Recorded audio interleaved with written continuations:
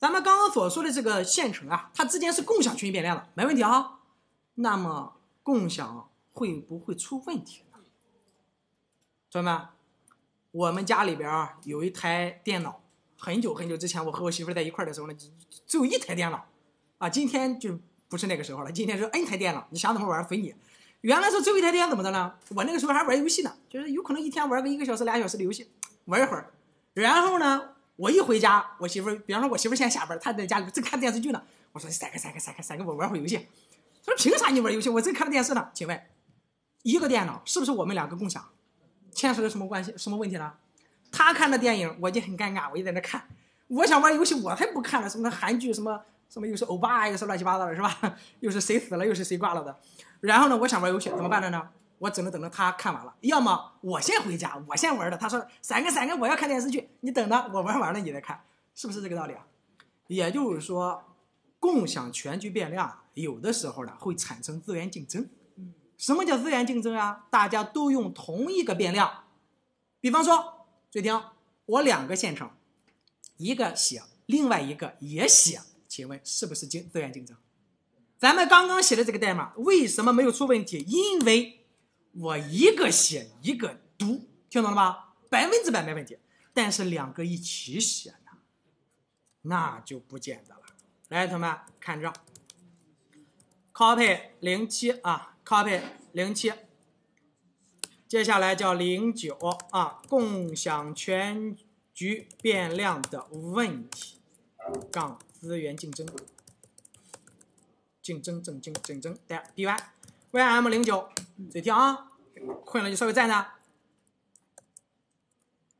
创建了一个全局变量，没错，同学们，这个全局变量等于几呢？我假如说它先等于零啊，等于零，我呢让这个修改，干件什么事呢？加 for i in range，加多少次呢？呃，加个 numbers，你传一个 number 进来，你传多少次我加多少次，能理解我意思吗？好了，接下来我把这根过去。然后接下来我打印这个结果啊，打印这个结果。好了，我在这里边代码几乎是一样的啊，打 v y p，然后这个地方少一个 number。好了，我接下来在这个地方创建的时候，我传一个，比方说 args 等于一百，逗号 args 等于一百，呃，一百逗号啊，少写了个逗号，逗号啊，它是元组。来，同学们，意味着什么？这个程序意味着啥呀？我把颜色抹掉啊，颜色抹了，颜色抹掉了，都抹掉了。然后在这个地方，在这个地方，我最终 time 点 sleep，比方说延时个五秒钟，延时在五秒干什么呢？等待上面的两个线程执行完毕。如果要是时间太短，你就把这个五秒再换的再大点，能理解我意思吗？现在我验什么事？我通透的给大家讲，我干一件什么事啊？就看读代码。把它读懂了就就听懂了。开始的时候，同志再来了啊！今天我已经重复很多次了。进来的时候只有一个线程，这叫主线程啊。导入模块，导入模块，不管定义变量哦，零。好了，继续走。定义函数不管，定义函数不管，定义函数不管。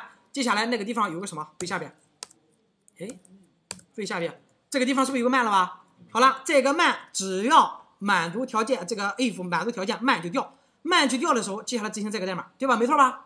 执行这个，砰一下子创一个对象，砰一下这个创了个对象。好了，第一个对象里边真正的是不是就演变成了一个真正的一个一个线程了吧？一个箭头就诞生了。请问这个箭头是不是从这开始执行？主线程接着往上走，子线程也接着往上走。没错，百分之百了。因为你不确定是到底是谁先走，简而言之，你就认为他们俩一起走就行了。好了，他要向下走，他也向下走。当他走到这的时候，怎么着？又创了一个。好了，接下来主线程读这个，请问在走。等的这个五秒的期间干什么？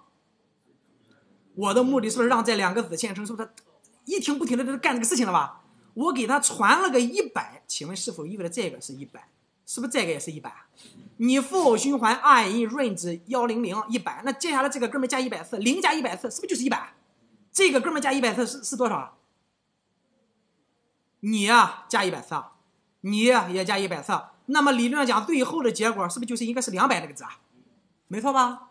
试验一下，五秒钟之后，等着你这两个结束了，我打印打印最后的结果，请问这个事是不是就解决了吧？我看看啊，哎，这刚刚是干了些什么呢？Python 三零九，五秒钟。你看，大家有没有发现，我原来给的五秒，是不是还太长呀？按理说顶多给他两秒都行。你看，两百没问题吧？那，共享变量，东哥，现在你验你写的这个代码没有出问题哦。大家注意发现一个特点，我是不是这个程序主要体现出了一个点？这个线程和这个线程是不是同一时刻对共享的这个变量是不是都得加一呀？没问题吧？接下来注意看，我把这个值由一百添加一二三四，一二三四，是不是变成了一百万呀？最后的结果想都不用想，应该是多少？两百万。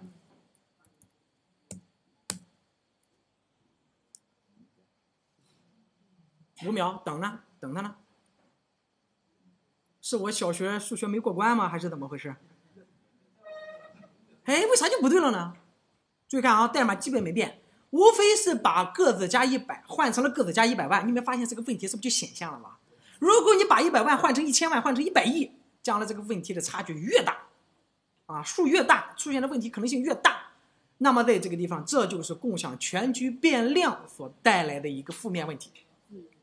很多东西都是有正面也有负面的，同学们一定是这种情况。那么多线程呢完成了任务一起执行，那么但是呢它会出现一个问题：共享全局变量的时候，如果出现了资源竞争，即如果很多个线程一起写，百分之百出问题。为什么呢？画个图，注意听，把这个图听懂了，你就懂了。我这个地方呢有一个全局变量，我模拟一下的，有个全局变量叫 g 下划线 number，它默认值等于零，全局变量。我这个地方呢有一个 CPU 啊 CPU，我这个地方呢有个线程，这个地方有个线程，OK 啊，比方说线程一啊，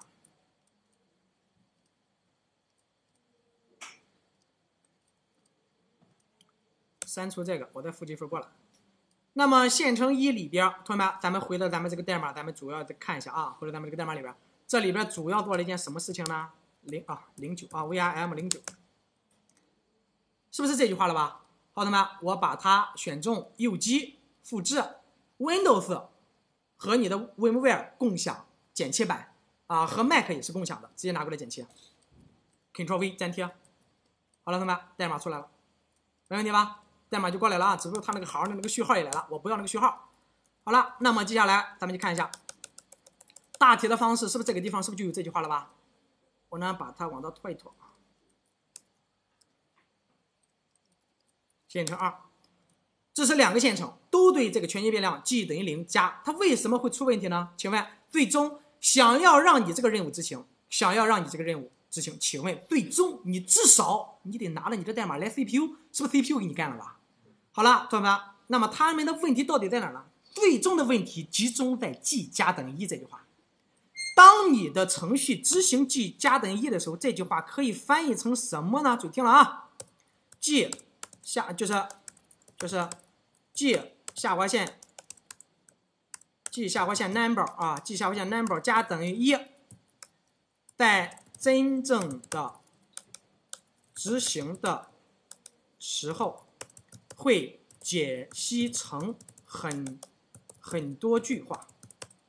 例如，我只是给你打个比方，例如，他会怎么做的呢？一，获取 g 下划线 number 的值。二，对，二把获取的值。加一，三，把第二步的结果存储存储到 g 下划线 number 中。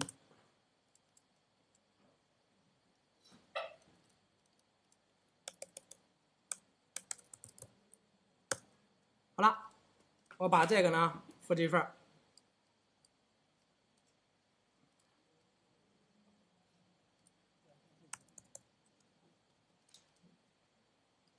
把它盖的稍微小点，同学们，咱们这样好看啊，这样好看。好了，同学们啊，这是两个线程，来，我给大家模拟一下子啊。把它分成这么三步，这么说能理解了吧？第一步获取，第二步加一，第三步才给它保存。好了，同学们，创建完了线程之后，说的更直白一点，不就是有一个线程做这个事情，是不是有一个线程做这个事情了吧？好了，当我的线程一去执行这句话的时候，请问是不是它要做三步啊？那么这三步分别是什么？同学们，是不是咱们刚刚说的这三步了吧？那么我接下来再来个框，我把这三步呢，我复制一份，咱们接下来就看这三步了啊。把字体放的小一点。好了，我就说这三步了。当你接下来你去调用的时候，请问你是不是拿着你这个三个，你这三句代码是不是过来，是不是占用 CPU 让 CPU 给你干了吧？CPU 去干活的时候，注意听了啊！CPU 去干活的时候呢，没想到 CPU 有什么特点呢？它得一句一句的执行。CPU 的特点就是一句一句执行。刚执行完这一句，请问意味着什么？啊，意味着什么？意味着此时的值是几啊？零，没问题吧？他本来接下来想把他的值给它加一，请问可以吧？没问题。他的接下来他就加一。好了，假如说操作系统还允许他又做了第二句，那么他接下来加一，请问零加一是不是现在变成了一啊？好了。他的目的是接下来把第二步的结果存到这个里边去的时候，还没调用这句话。对了啊，第一步、第二步执行完了，他本来要执行第三步的时候，马上就要执行第三步了。操作系统，请问是不是为了雨露均沾？是不是一会儿让你执行，是不是一会儿不让你执行啊？刚要执行那句话，操作系统说时间到了，time out，滚出去，出去了。请问他计算的结果放进去了吗？没有。那么这个时候，请问是不是操作系统是不是让他执行啊？哎，他说：“来，小伙子，该你了，你来执行。”操作系统说：“来，开始执行啊！第一句啊，你干什么事啊？来，把这个值回去了。请问他的值是几？现在零。来，零有了吧？有了零了。他操作系统呢又让他做了第二句，来，你把你的值加一，加一，零加一了。请问是不是现在是一啊？他本来是想把这个结果往里边放来，比方说还没放呢，操作系统滚出去，他就出去了。操作系统说：该你了。刚刚不是不太好意思，刚刚让你出去了吗？来，接下来该你了啊！请问从哪个地方开始执行？”他还会从从第一步再来一遍吗？不会，他的第一步、第二步已经执行完了，紧接着会执行接下来代码，所以说第三步。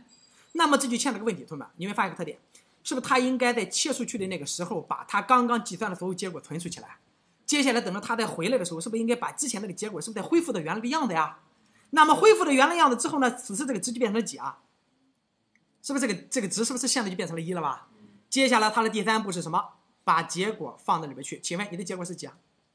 一，来把结果放到里边去。好了，这句话终于做完了，回去吧。接下来操作系统说该你了，你刚刚是哪一句话没做了？他说我刚我这句话没做，行了，你的值是几啊？放进去。啊，你的我的值是一，来放进去。我不管你值之前是几，我现在给你放上你的结果，没错吧，同学们？好了，一放之后，这个值是不是依然是一啊？好了，注意看，你加了一次。你也加了一次，最后的这个权益变量值是几呢？一，这就是问题，听懂了吗？那为什么我写一百的时候没有，反而写一百万的时候有了呢？大家有没有发现一个特点？我刚刚说的这个过程，也就是说，只是说恰巧我接下来执行第三步的时候，操作系统让我出去了，是吧？只是说是恰巧呀。你的次数越少，那你就恰巧的可能性越小吧？你的次数越大，恰巧的可能性越大呀。那么因此，你把这个值给了一千万、一百亿，将来这个可能性是不是越大嘛？因此，最终资源冲突是资源竞争，是不是就是这么一个体现？好了，最终同学们，这就是我刚刚给大家说的：如果多线程里边共享全局变量，而且同一时刻你们都在对全局变量进行操作，是不是可能会出问题？这就是资源竞争啊！这就是资源竞争。来，同学们，接下来把我刚刚给大家说的这个流程自己模拟一遍，开始。